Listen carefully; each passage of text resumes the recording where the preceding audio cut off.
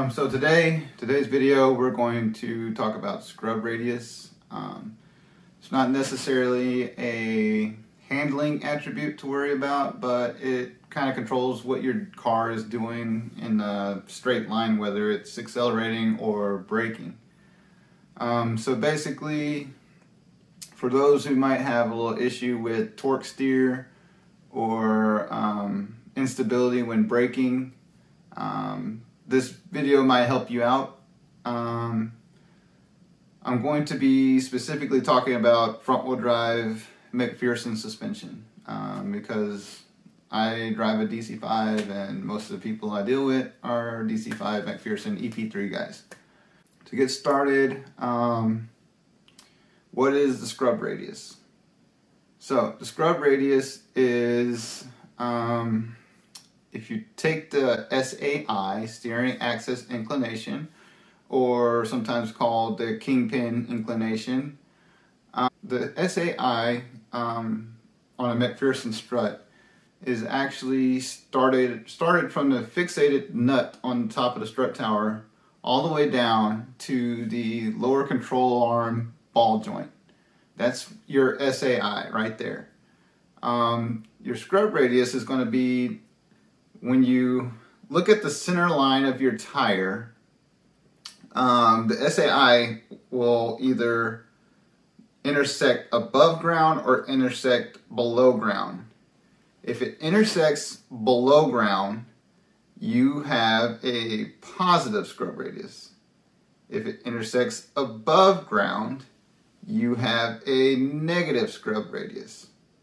So what you want in a front wheel drive MacPherson is a little bit of negative scrub radius. Scrub radius, sorry. You never want too much excessiveness. Um, I'd say try to keep it in below 20 millimeter. If you want to find out more about how the scrub radius actually works, I talked about it in a previous video um, called torque steer and bump steer, I think it is. Um, I'll have it uh, linked up in the cards or in the description of the video.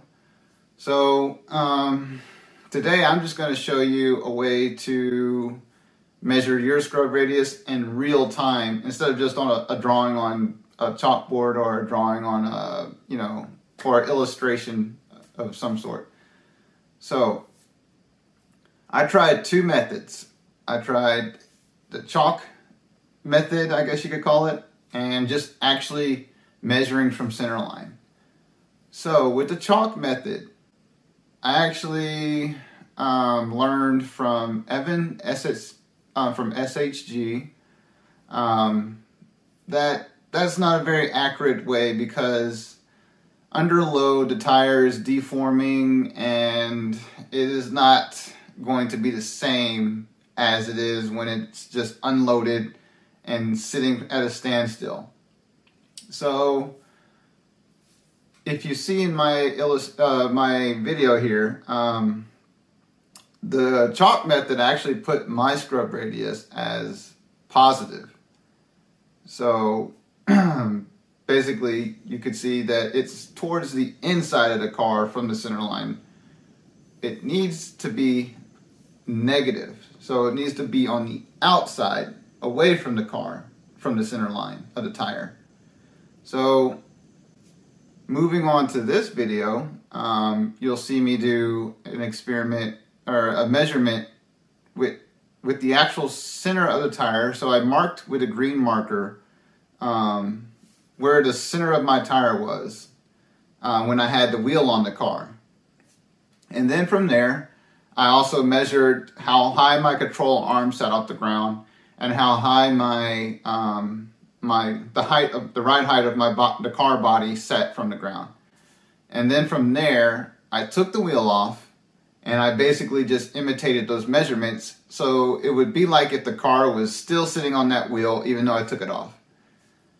And then from there, I measured from the top nut all the way down to um, the lower ball joint, all the way down to where that green marked line is.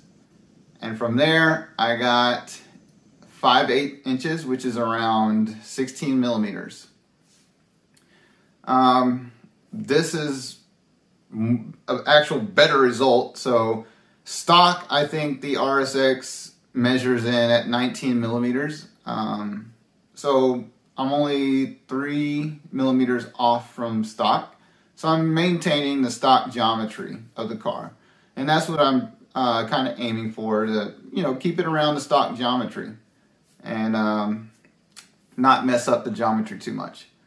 So thanks for watching. Um, like I said, if you want to learn more about um, the scrub radius and how it um, helps the car in braking and acceleration, uh, go ahead and visit my other video and learn more about that.